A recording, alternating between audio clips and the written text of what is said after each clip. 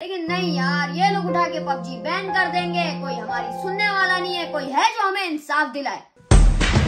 मैं सुनूँगा तुम लोगों की। देखो यार न्यूज़ पे क्या चल रहा है यार। अरे ये सब झूठ है। मैं कल इस बार हाई कोर्ट जाऊँगा। पबजी को सेल्फी मैं बात कर रहा हूँ तुम लोग सबको पबजी वालों को इंसाफ दिलाऊँगा।